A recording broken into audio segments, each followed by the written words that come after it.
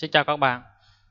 Hôm nay chúng ta sẽ tiếp tục bước sang một à, nội dung mới trong à, chương điện trường. Đó là phần 7 là mã điện thế, hiệu điện thế. Đầu tiên chúng ta sẽ tìm hiểu à, thế nào là điện thế. Như đã được học trong à, bài học trước Chúng ta biết rằng khi một cái điện tích thử quy không đấy, di chuyển trong điện trường thì cái thế năng của một cái điện tích thử tại điểm A. Đấy, là V kẹp TA được xác định bằng công thức là Q0 tích phân đi từ A đến vô cùng của EDS có nghĩa là ở thế năng của một điện tích thử Q0 tại điểm A, nó sẽ bằng công thực hiện được từ điểm A đó ra xa vô cùng, ra xa vô cùng. Và từ cái biểu thức ờ, điện thế đấy, để chúng ta ờ, giả sử muốn xác định được một cái điện thế tại một cái điểm A hoặc điểm B bất kỳ ở trong điện trường, thì chúng ta ờ, sử dụng cái định nghĩa là điện thế tại một điểm nào đó. Nó sẽ bằng thế năng tại điểm đó mà chia cho cái điện tích thử quy không.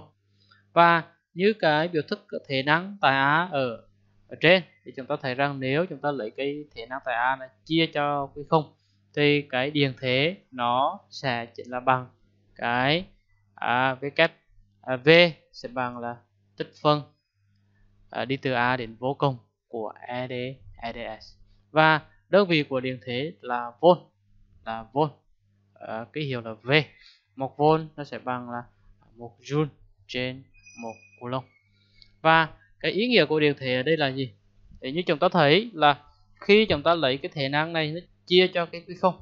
Thì bản thân của điện thế bây giờ nó là một cái đại lượng không còn phụ thuộc vào các cái giá trị ở bên ngoài nữa. Cụ thể là điện tích quy không nữa. Mà điện thế nó chính là một đại lượng đặc trưng cho điện trường về phương diện năng lượng. Và bây giờ chúng ta sẽ đi tìm điện thế à, tại một điểm M nào đó do cái điện tích quy một này gây ra chúng ta quan sát cái hình vẽ ở bên phải chúng ta thấy rằng là giả sử chúng ta có một cái điện tích quy một dương đặt gần với điện tích quy hai âm và hai điện tích này cách nhau một khoảng r12 thì cái thể năng của cái uh, hai điện tích này nó được xác định bằng à, công thức thể năng à, như ở cái phương trình đầu tiên ở trên màn hình. Và bây giờ nếu thầy bỏ điện tích quy 2 đi để nó tương đương với điện tích thử quy 0 đi. Thì lúc này tại cái vị trí M này nó sẽ tồn tại một cái giá trị điện thế điện thế và ta gọi nó là điện thế do điện tích quy một này gây ra, điện tích quy một này gây ra và bằng định nghĩa ở trên thì chúng ta dễ dàng xác định được điện thế do một điện tích điểm quy một gây ra tại M nó có hệ thức là V bằng K nhân quy một chia epsilon R.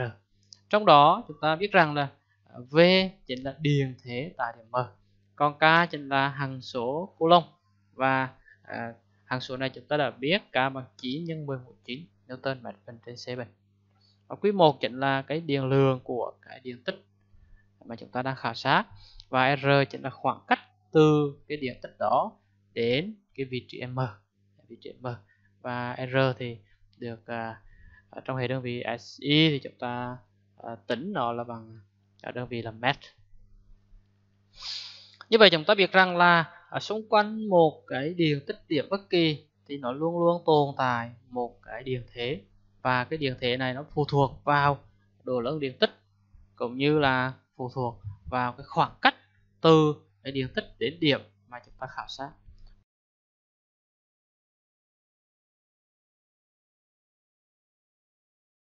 Không chỉ có điện tích quy 1 nữa mà nó có thể có điện tích quy 2 và điện tích quy 3 và uh, lúc này ấy, người ta có thể yêu cầu chúng ta xác định điện thế tại điểm M do cả ba cái hệ điện tích này gây ra. Thì lúc đấy chúng ta sẽ phải giải quyết bài toán như thế nào. Thì như chúng ta đã thấy bản thân của biểu thức điện thế tại một điểm nó là một đại lượng vô hướng.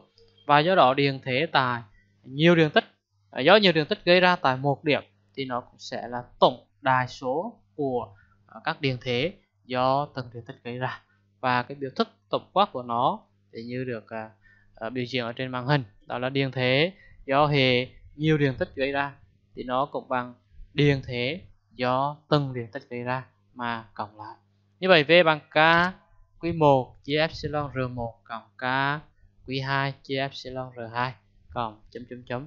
Và như vậy chúng ta có thể viết thành một cái biểu thức tổng quát đó là bằng tổng sigma theo y của K nhân với QI chia epsilon RI Bây giờ để có thể hiểu rõ hơn về à, việc xác định điện thế tại một điểm do hệ các điện tích điện gây ra, chúng ta có thể làm một cái bài tập ví dụ à, như sau. Có 3 điểm, có 3 điện tích điểm đặt tại 3 điểm ABC của hình vuông ABCD có cạnh 20 cm. Cho biết Q1 bằng 2 nanocoulomb, Q2 bằng trừ 3 nanocoulomb, Q3 bằng trừ 5 nanocoulomb. Tính điện thế à, được gây ra tại điểm D và chúng ta à, quan sát cái hình vẽ như ở trên màn hình. Đây là bài toán yêu cầu tính điện thế gây ra tại một điểm do hệ ba điện tích điểm gây ra. Thì hiện nhiên chúng ta sẽ áp dụng công thức điện tích à, điện thế do hệ điện tích điểm QI gây ra như ở trên màn hình. Và nhiệm vụ của chúng ta là cần phải xác định được là quý 1 bằng bao nhiêu, quý 2 bằng bao nhiêu, quý 3 bằng bao nhiêu và R1 bằng bao nhiêu, R2 bằng bao nhiêu, R3 bằng bao nhiêu. Như chúng ta đã thấy quý 1, quý 2, quý 3 đề bài đã cho và quý 1, quý 2, quý 3 lần lượt đặt tại A, B và và C. Bây giờ nhiệm vụ của chúng ta đó là xác định R1. Và R1 là gì? R1 có nghĩa là khoảng cách từ điểm D cho đến diện tích Q1. Q1 và chúng ta thấy đây chính là độ dài của cạnh AB, độ dài của à, một cạnh của hình vuông. Cho nên nó sẽ bằng là à, 0,2 m. R3 là khoảng cách từ D đến Q3 đặt tại C cộng là à, độ dài của cái cạnh của hình vuông cộng bằng 0,2 m. Còn R2 là khoảng cách từ điểm D đến Q2 và như chúng ta thấy đó chính là cạnh góc vuông của một cái tam giác vuông. Vậy nó sẽ bằng là 0,2 căn 2 mét sau khi chúng ta uh, xác định được cái R1, R2, R3 thì chúng ta lưu ý ờ, người ta không nói đến cái hàng số điện môi tức người ta không nói đến môi trường uh, chứa ba điện tích này. Thì uh, chúng ta uh, biết rằng sẽ cho nó là bằng bằng một với uh, giả thiết là nó đang ở trong môi trường chân không hoặc là không khí. Thì lúc đấy chúng ta sẽ áp dụng công thức đó là v bằng uh, k chia epsilon q1 chia r1 cộng q2 chia r2 cộng q3 chia r3 thì à, nó sẽ ra được cái đáp số của à, bài toán này.